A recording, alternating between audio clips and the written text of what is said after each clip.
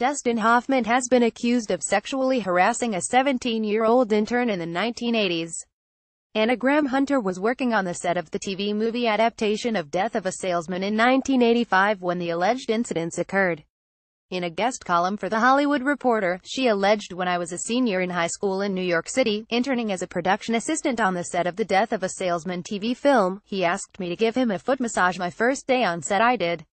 He was openly flirtatious, he grabbed my ass, he talked about sex to me and in front of me. One morning I went to his dressing room to take his breakfast order he looked at me and grinned, taking his time. Then he said, he'll have a hard-boiled egg, and a soft-boiled clitoris. His entourage burst out laughing.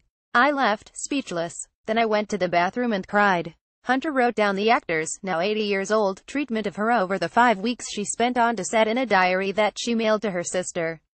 In an excerpt of one of the published letters, she wrote today, when I was walking Dustin to his limo, he felt my ass four times.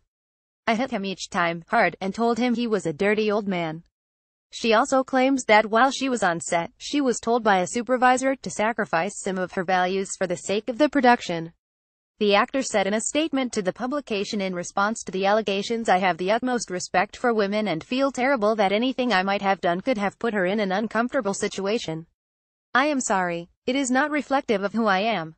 Check out Millwall FC on Freestyle Combat from this week's Total Tekkers.